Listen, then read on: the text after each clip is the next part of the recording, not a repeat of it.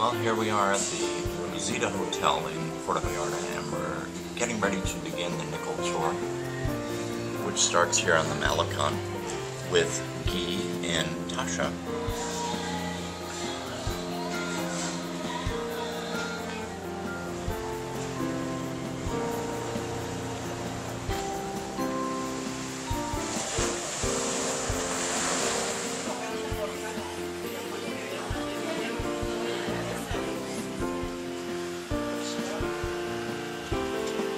This one is way.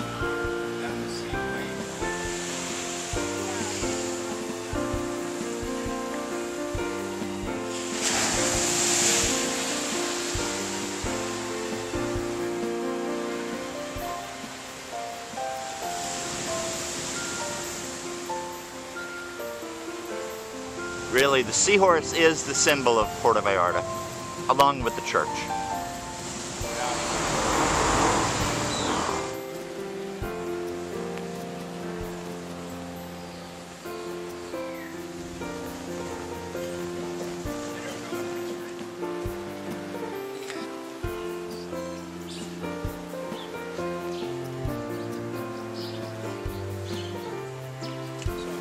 Have to go home and make some more money.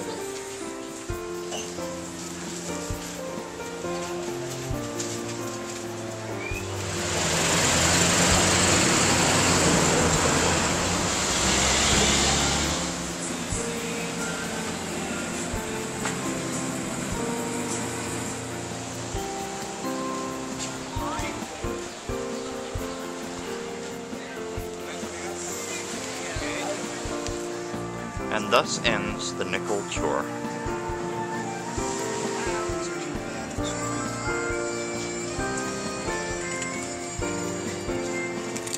You're gonna put up there, these Canadians can really they can.